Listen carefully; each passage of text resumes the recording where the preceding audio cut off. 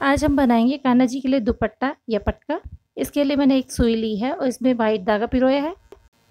अब हम एक कैची लेंगे और इसमें इस तरह से इसको रेड और येलो धा, जो धागा है उसको इस तरह से सेट कर लेंगे। ये मैं आपको बताऊँगी किस तरह से मैंने बनाया था।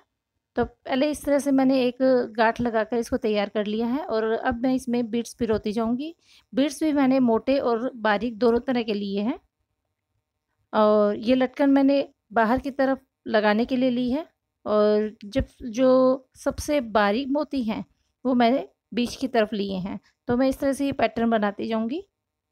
ये काफ़ी अच्छा पैटर्न लगता है। ये देखिए, बहुत ही प्यारा सा पैटर्न हमारा तैयार हो गया है।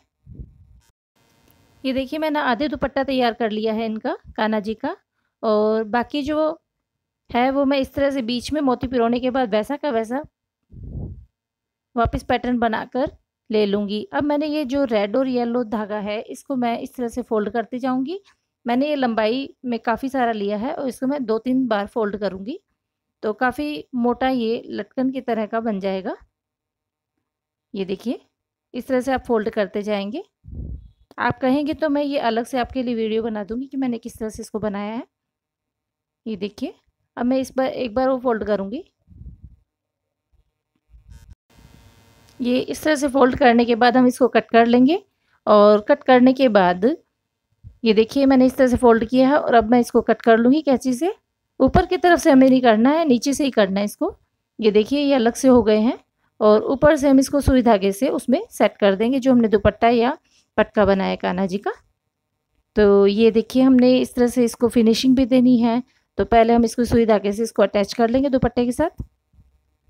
ये मैंने काफ़ी बार आपको इस तरह से सेट करना बता दिया है। पहले माला भी मैंने इस तरह से सेट किया था, पर अब मैंने इसकी जो लटकन है काफ़ी मोटी बनाई है। पहले मैंने ओनली दो या तीन धागे लिए थे माला में, और ये जो है वो एक मोली की तरह का धागा नहीं होता, थोड़ा सा शाइनिंग वाला धागा है।